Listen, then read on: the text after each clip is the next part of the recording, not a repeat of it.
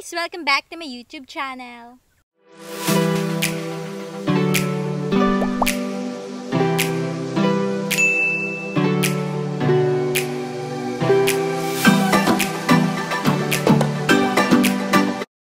Ngayong araw na to guys, ang nilalaman ng ating vlog ay para sa mga mawawalwal dyan. Magwawalwalan tayo ngayong araw na to.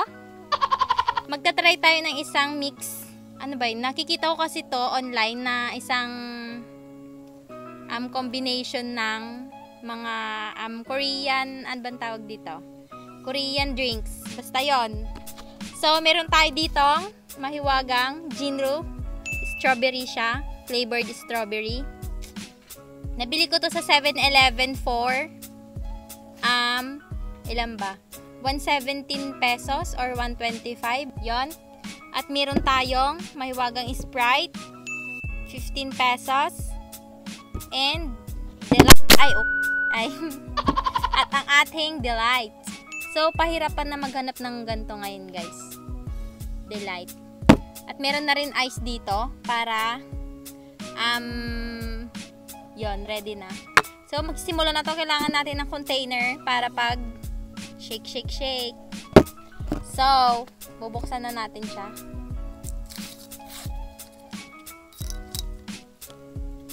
Kasi, mo ang tropa, walwal hanggang sa umaga. aray, nasugat ako. Hmm, bango.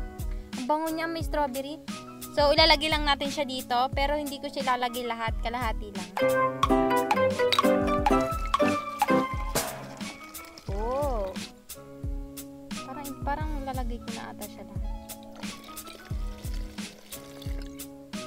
So, may natira pa ditong konti. Titikman natin yan mamaya. So, pagkatapos ng, non, ng ating Jinru, Jinru, is Sprite. Lalagyan natin. Oh. Sabi niya.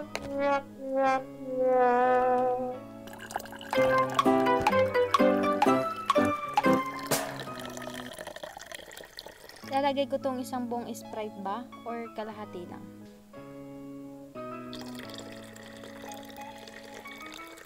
Kalahati lang para ma-shake pa natin siya. Next, maglalagay lang tayo ng isang delight. Kung wala kayong delight dyan guys, pwede namang Yakult.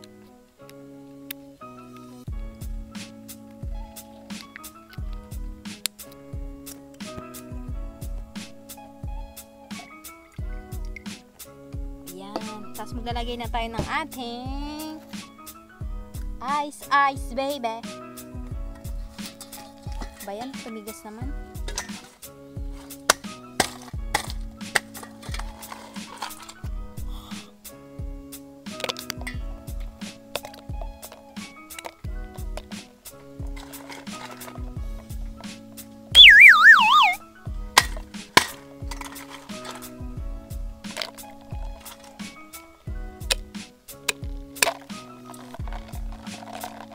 Tatakpan na natin siya. Ito na siya, guys. Tatakpan na natin. Tapos, i-shake. Shake it baby, shake it baby, shake it to the left, shake it to the right.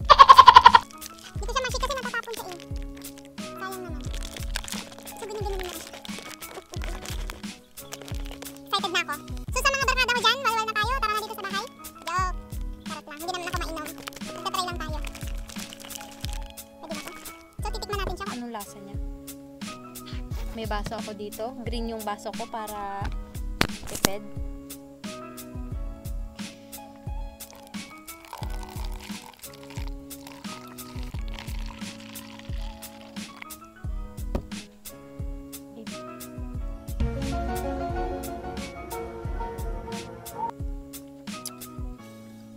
Ang sarap! Guys, try nyo to sa bahay nyo. Um, mga 200 pesos lang yung magagasto nyo. Guys, talagang hindi kayo magsisisi sa lasa.